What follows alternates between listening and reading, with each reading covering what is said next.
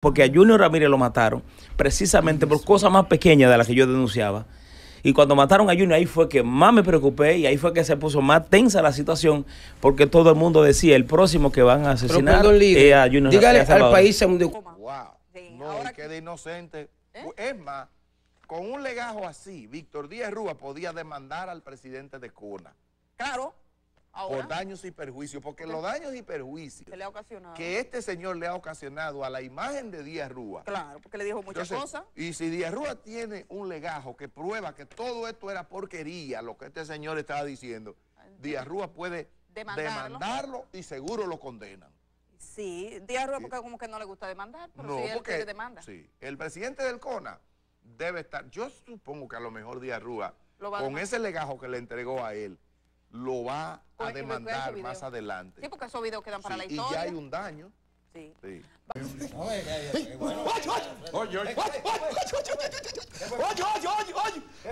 Hay un libro que ya registré y que está prácticamente terminado, que se llama El Quirinazo, que yo estimo que eh, Ay, señor.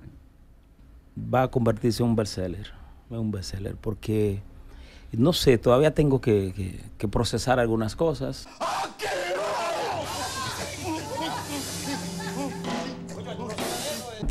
Pero ironía de la vida en esto. De los líderes políticos, y espero que los demás no se me molesten, el único que tiene admiración en, el- en la vida o en, el- la, en la- en la trayectoria de Salvador Oquín es don Leonel Fernández. Hoy, ironía de la vida, señores. Ustedes dirán, pero sí, lo estoy rectificando, lo decía en medio del proceso, lo decía en la audiencia y lo digo ahora. De los líderes políticos a quien Salvador Oquín admira, y oigan por qué, porque él tiene su, su parte cuestionante como eh, gobernante, pero yo estoy hablando del ser humano. Como hombre. Sí. Leonel Fernández es un líder excepcional. Oigan quién lo está diciendo, ¿eh? Quien pudiera alguien pensar que, que le quiso hundir, que le quiso hacer daño. No, no, no, no. No, no.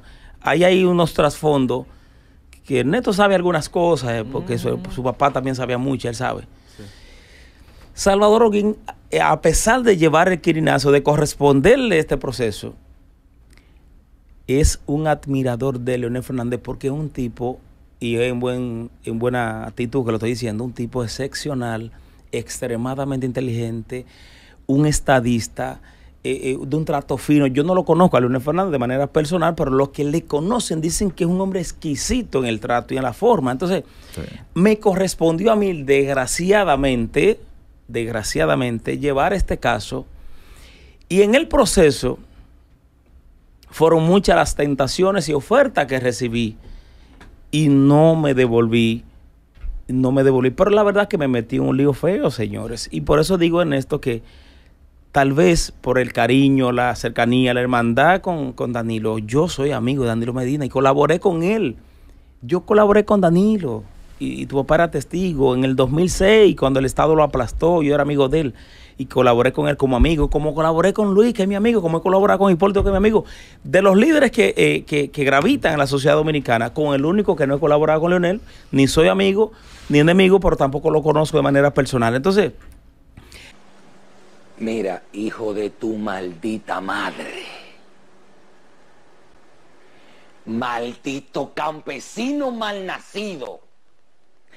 Animal bruto no eh, Danilo me desprotegió. Danilo dio luz verde para que hasta atentaran contra mi vida. Yo tuve que llegar hasta donde Pompeo y quiero revelar por primera, por primera vez cómo llegué a donde Pompeo. Cuando, cuando mi cabeza le ponen precio, Maldito animal. Bestia, yegua, analfabeto, bruto, egoísta, envidioso. Don César Prieto se entera de que él va a ser allanado, procesado, preso. Era de los primeros. Él arranca para la casa de Danilo Medina, la Sarasota. Cuando llega allí, le reclama a Danilo, según mis fuentes fidedigna que si desmientan lo que estoy diciendo, entonces digo más. Yo siempre guardo para aquellos que le encantan Por descalificar, por si acaso. Cuando le reclama a Danilo, entonces Danilo lo desprotegió. ¿Cómo lo desprotege? Diciéndole que él no puede hacer más nada de lo que la posibilidad de como expresidente le permite y que es lo que tiene que estar preparado para enfrentar lo que viene porque no solo él, sino que según Danilo venían otros casos más. Resulta que César Prieto le reclama que todo lo que hizo y la medida que tomó fue por instrucciones de él, de José Ramón Peralta y Gustavo Montalvo. Entonces, que él estaba cumpliendo órdenes de todo lo que hizo, incluyendo corrupción y reparto de recursos del Estado. Es el tema de los cuñados, ¿verdad? Y, exacto, entonces, exactamente. Ay, ay, te está, te está hilando fino, como dice Ernesto. El tema de los cuñados. Entonces, él le dice, esto está que se salve quien pueda. Don César cayó en depresión, quien él entendió que le iba a proteger, no lo protegió. Busca aliento en José Ramón, busca aliento en Montalvo y nadie le dio palabra de aliento, por lo menos. No decir que lo iban a proteger, no, o lo iban a defender. Nadie le dio palabra de aliento. Eso lo hizo caer de inmediato en una depresión crónica y que finalmente entonces detonó en un tiro, en un plomazo. Dios mío. Y eso es algo que como murió se dejó hasta ahí. Pero y después ir. Sí, sí, sí, sí. Como el hombre. Entonces, como no le cumplió Danilo a Reinaldo Pared Pérez, señores, la angustia, la traición, el desaliento y la de protección política sometió a Reinaldo Pared. Pérez. a- primero se enfermó. Dese cuenta que después de haber superado el cáncer, el que cae en depresión, cosa rara, pues ya, ya, ya lo peor pasó. Claro. Ya el cáncer lo superaste. No, no fue suficiente. Ahí entonces eh, se enfrascó en una depresión y él reclamaba, para que no se ha dicho ahí como ya, es, es que... Su deja- familia parece que prefirió dejarlo Sí. así. ¿Y qué él Sí. reclamaba? A Danilo le reclamaba ¿Qué? en vida. Su, su traición, que lo dejó solo, que lo deportó y que no le cumplió. No le cumplió. ¿Sabes qué es ¿Cómo Reina- no le eh, cumplió? eh, lo- eh, es que Reinaldo fue que llevó, armó el tema de la modificación constitucional. Que Danilo no le perdonó algo, y quiero, y vamos a decirlo, porque ya hay que, hay que, aquí hay ya. que desenmascarar a toda esta gente, porque no hay otra forma de que esta país avance. Lo que no le perdona a Danilo Medina a Reinaldo Pared Pérez es el transitorio. Todo está consumado. Aprobada la reelección. Se compraron los senadores que faltaban, los diputados que faltaban. A Quirino le dijeron ya no hable más. La inhabilitación. Sí, a Quirino ya no puede hablar más porque de- eh, se destruye el partido. Porque se había radicalizado la división. Callan a Quirino, excepto de, de Danilo. Lo guardan por un tiempo.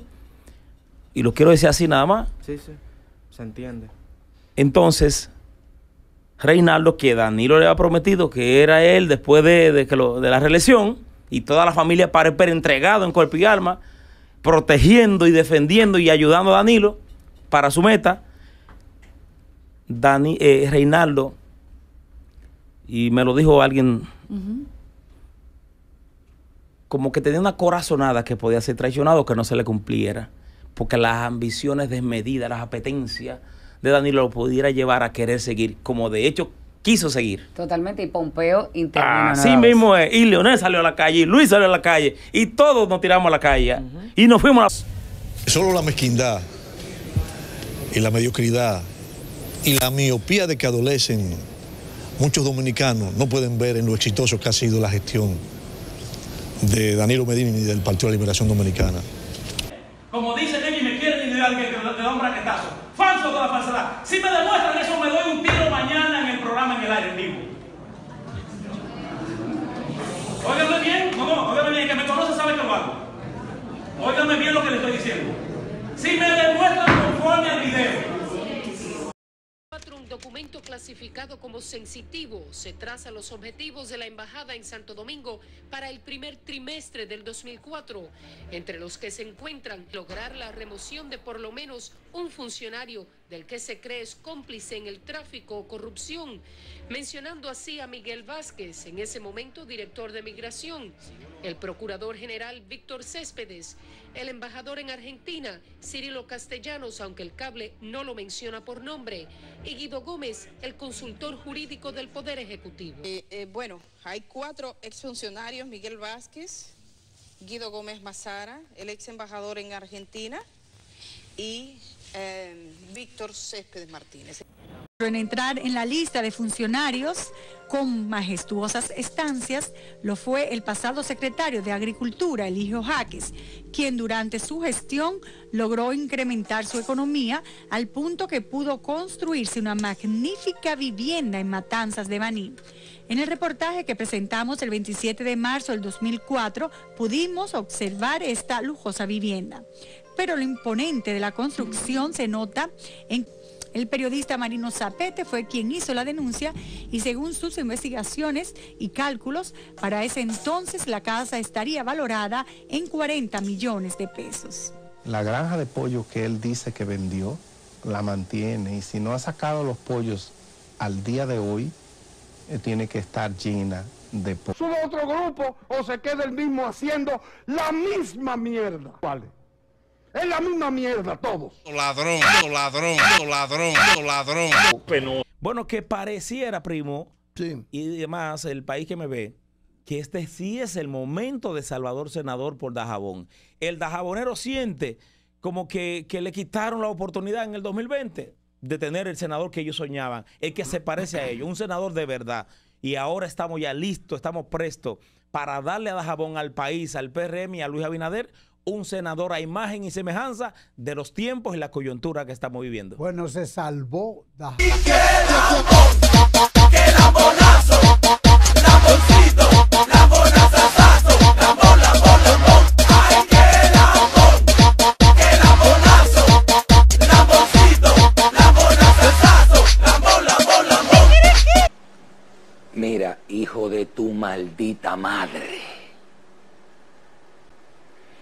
Maldito campesino malnacido. Animal bruto